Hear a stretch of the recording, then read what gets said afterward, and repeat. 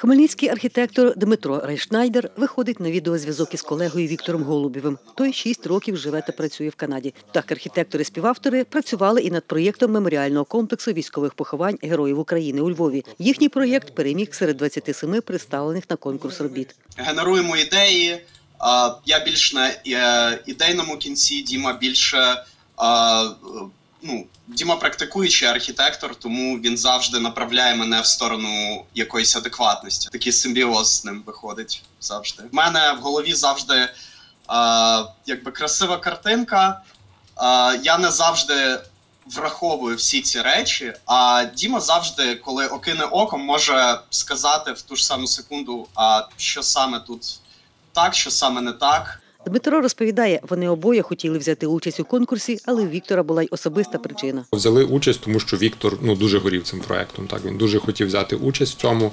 Е, Він дійсно дуже сильний, саме от ну в такій сакральній от архітектурі. У нього було дуже таке велике бажання, тому що і потяг, крім того, Віктор не згадав. Так у нього друг похований на цьому ж кладовищі, от саме в цьому місці, так же як під час військових бойових дій. Тому для нього цей проект особливо близький. Віктор каже, в Торонто має основну роботу, тому над проєктом працював кожну вільну хвилину вранці, ввечері та в вихідні. За його словами, проєкт комплексний. Крім могил загиблих військовослужбовців, це ще колумбарій, сквер, музей, монумент невідомому солдату та каплиця. Хрести на 675 могилах планують зробити з білого архітектурного бетону із вкрапленнями з натурального каменю. На похованнях нехристиян встановлять інші символи відповідно до їхніх релігій або надгробні камені. Всюди можна буде дістатися на кріслі колісному. Проект дуже відповідальний і ціна помилки вона дуже велика. Основний акцент був не на меморіалі, не на монументі, а саме на хлопцях, які загинули і тут лежать. Візуалізації створив Віктор Голубів. Він каже, робота тривала приблизно три місяці, і за цей час вони з Дмитром створили сотні ескізів усіх об'єктів, змінювали вже створене, доки зрештою не прийшли до остаточного варіанту. Приміром, каже Квітка, обрізані полюстки, якої нагадують щит, і направлені на схід та північний схід, туди, де тривали найзапекліші та найкривавіші бої за визволення України.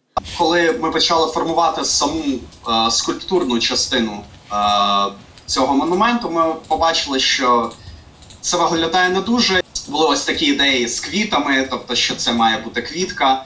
Е, і ми відмовилися в бік більш е, такої, е, я би сказав, архітектурної моделі, де е, цей монумент має більше прочитань.